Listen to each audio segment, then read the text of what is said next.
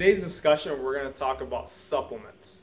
If you're currently taking supplements, or maybe you're thinking about getting into buying supplements, whether that's for sports performance and you're an athlete, weight loss, energy, recovery, whatever, there's certain things that we can look for on the actual label of the supplement that ensures that we're getting what we're paying for, and two, it's not going to contain a banned substance. Let's just say if I'm a college athlete or professional athlete who gets tested on a yearly basis, a test is not going to show a positive in fact, even on something that we bought over the counter, not knowing that it had something it wasn't supposed to have. So that's what we're going to talk about. So if you can see on the screen, you got about four different types of logos um, or what, I, what they call seals that they're going to get stamped on the actual product itself. So the, each one is a third party, so they're not aligned or associated with the actual manufacturer of the supplement.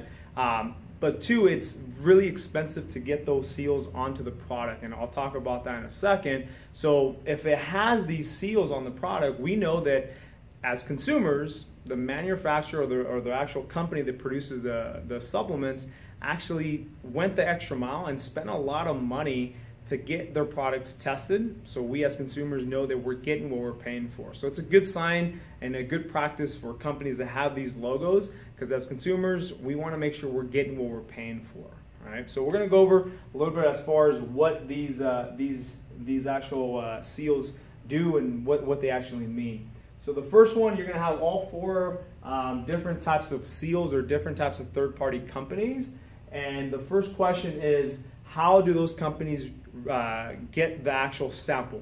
Some companies are going to get it from the manufacturer itself, while other companies are actually going to go to random stores, buy it off the shelf, and test that product. So, again, different types of uh, testing going on. Not saying one's right or wrong, just different ways that they're gathering the product itself. Um, the second one is how often uh, does the do these companies retest or spot check? So sometimes one to six times a year um, another one is once a year using samples purchased in the store. Another one once a year, and another one twice a year purchasing them in the store. So different time periods um, that these companies are actually using these products or buying these products and testing them. Some a little bit more often than others. Um, the third one is how much do these manufacturers pay to have these products tested? So like I said earlier, it's extremely expensive. So smaller companies, newer companies are probably not going to be able to spend the money to test their products. That's why I always recommend with going with, with companies that have been around for a long period of time, um, that don't have a bad reputation of, uh, of banned substances. So again, some of the some of the costs are going to be anywhere from three to fifteen thousand per product. So this is not total. This is per product. So if you're buying a creatine and a protein and a pre-workout all from the same company and you're buying them and they each have the seal, that means they spent the three to fifteen thousand on each of those products. So it's really can get really expensive. But again, as consumers, we know that we're getting our money's worth, and the company went the extra mile to actually pay a third party to test their products. Another one anywhere from three to five thousand. Same thing, about three to five thousand with a thirteen thousand dollar fee, um, and another one anywhere from two to eight thousand. So they all range depending on how often they're going to test and how much do they actually charge.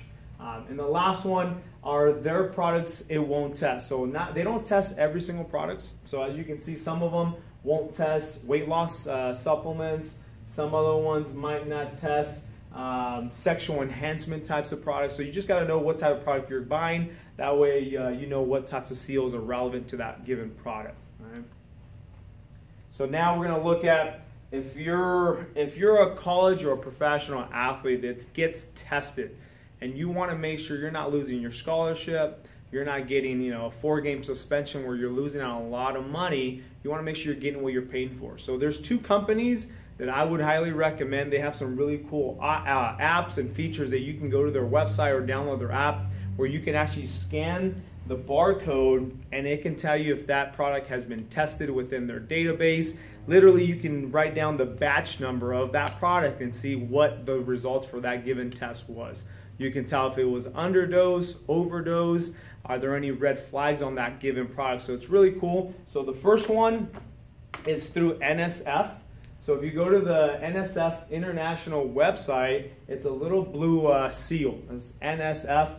Um, if you go to the website, you can actually download an app or, or, go on their website, and again, you can get the barcode scanner and you can scan the product and see if it's actually been tested and what the results were. So I think that's really cool if you're a high school, college, or professional athlete, or maybe you're a parent or a coach, you can have this product on hand or this app and make sure your guys and girls are getting tested their products and you can hey maybe this one's not something you want to be taking. Um, maybe there's this other supplement company that's a better uh, better uh, idea to take because it's been tested by this company. So i think that's really cool. It's really easy to use. You just scan the barcode. So the next one is probably one of my favorites is uh, is it's called the informed choice.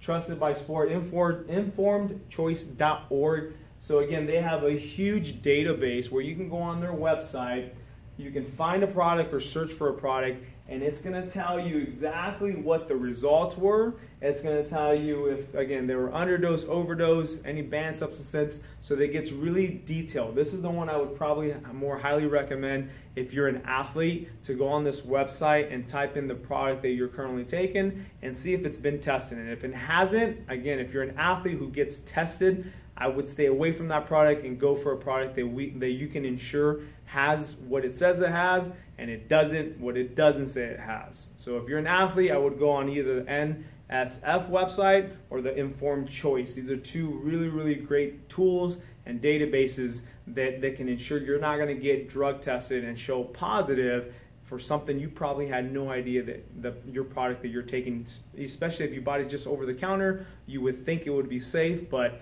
you'll be surprised what the statistic, which is really high, on supplements containing things that they shouldn't contain. So again, uh, these are just kind of tools that you can go on these websites if you're an athlete, but I would, even if you're not an athlete, if you're just someone that's going to the gym, um, one, you just want to make sure you're getting what you're paying for and you're not getting taken advantage of. And two, you want to make sure you're not putting things in your body, um, especially if you have maybe a prior condition, maybe you have a liver condition or a, some type of health condition, and that product has something that maybe uh, has a has an effect on the medication you're taking and could possibly you know get you in a bad situation, make you really worse off as far as your, your health condition. So it's just easier to be safer than sorry. It doesn't cost you anything. These are free uh, free uh, tools that you can use. Uh, but again, looking at the uh, at the product itself, you can see that uh, this company, Dymatize, again, I don't make any money uh, from these companies, but uh, they have a seal, the NSF, and at the GMP, Good Manufacturing uh, Practices. So again, this is that's another type of seal where they come into your facility and basically kind of make sure that it's clean and it's sanitary and things like that. So again, it has a seal. Um, you're going to see that uh, again, uh, Dymatize, same company, for their protein powder actually has